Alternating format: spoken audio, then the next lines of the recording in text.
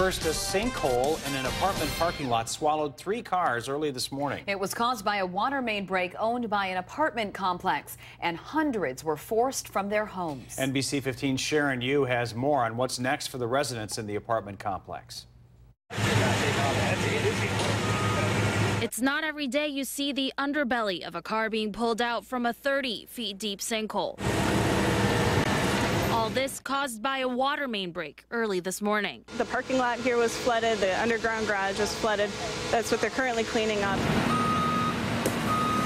While the tow trucks work to pull the cars from the sludge this afternoon, residents who have been evacuated are waiting patiently to return to their homes.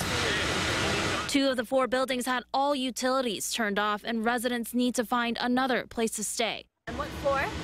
Third floor. Robert Hansen and his wife are among 300 people waiting to retrieve their things for the night. Oh, our car is currently trapped in our underground garage under uh, a lot of sewage. Oh yes, we'll we'll stay with uh, some relatives. And those who haven't found family or friends to stay with still need to find a place to go. Everybody can expect to um, be looking for alternate housing through the weekend.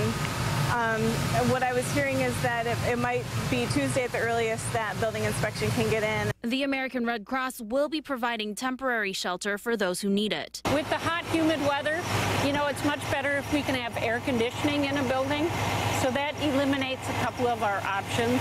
And so we want, you know, people to be, you know, cool and comfortable. As for cleaning up damages and repairs, the regional property manager says sorting that out will take some time. Well, right now, like I said, we've got professionals here and we're going to take care of things, you know, and we'll figure out the technical responsibility later. But right now, Banner is, is getting things taken care of. In Madison, Sharon Yu, NBC 15 News.